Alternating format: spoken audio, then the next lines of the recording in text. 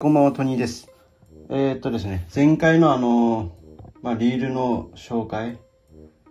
まあ、紹介中か、大した紹介しとらんし、ただのお知らせみたいな感じやけど、えー、今回はですね、ちょっとロットホルダー、ロットスタンドかをですね、あのー、まあ、引き続き購入したんでですね、まあ、こちらは、まあ、釣り部屋にですね、用に、あ、インテリアじゃねえか。まあ、インテリアやな。としてちょっと、買っちゃいましたよ。ロットスタンド。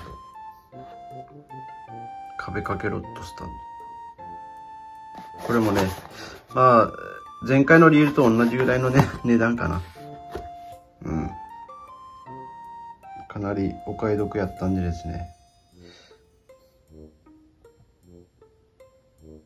買っちゃいましたけど、まあこれですね、写真見てもらうと、結構あのこう、間隔がですね、えっ、ー、とね、1、2、3、4、5、6本か。6本が、あ、ここ書いてあるやん。6本掛けで、で、まあ、こう、ロットとロットの間の間隔が狭いんでですね。まあ、これは、あの、リールをつけた状態でかけるんじゃなくてですね、まあ、ロット単体で6本かけるみたいな感じですね。で、これはまあ、本当なんていうんですかね、飾り程度の、まあ、やつですね。うん。もうね、開ける時がね、何でもこう、楽しいんですよね。ワクワクするというかですね。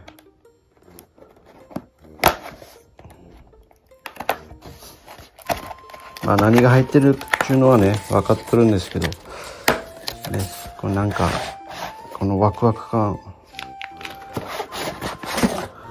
おお。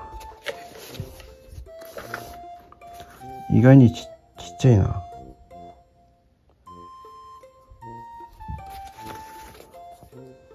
意外にちっちゃかったな。まあ一応サイズはちょっと測ってですね。あそこスペースは確保してたんですけど、予想以上にちっちゃいな。うん。で、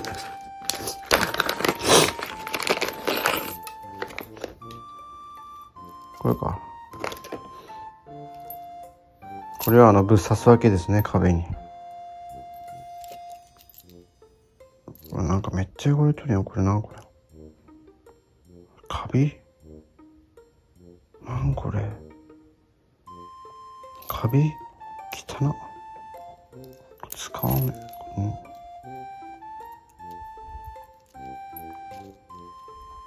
ちょっと付属のね、あのー、アンカーついとったんですけど、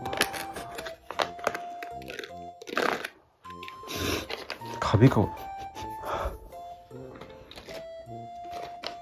なんかちょっと汚れとったんで、これ使わんとこ。ネジだけちょっと使いますね。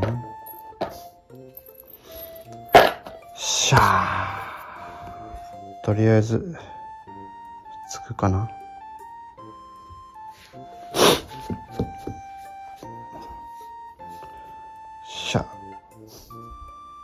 つけるかの？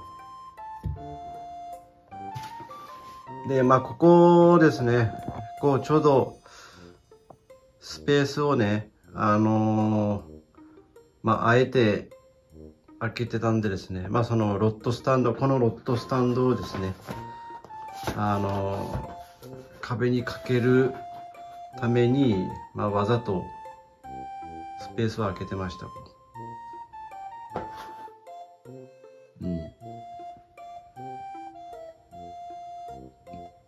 じゃあね、早速やけどの、開けていきましょうかね。いや、ぜ、まじ、絶対いい感じになるわこれね。はい。ロットホルダーつけちゃいましたよ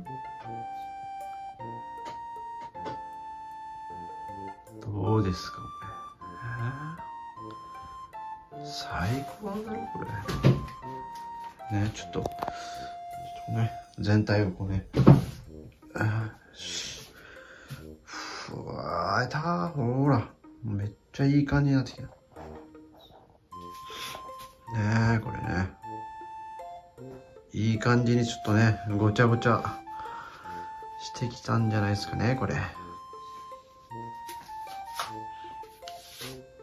ねもうこの辺もねあのー、こうねもう追加。ねぼちぼちこ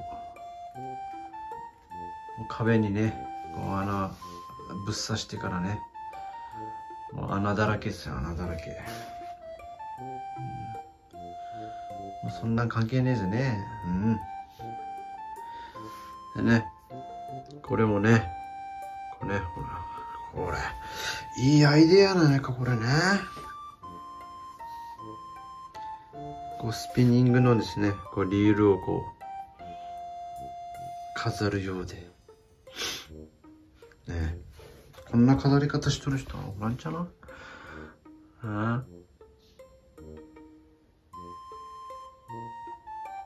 うん。ち感じですな。って感じです。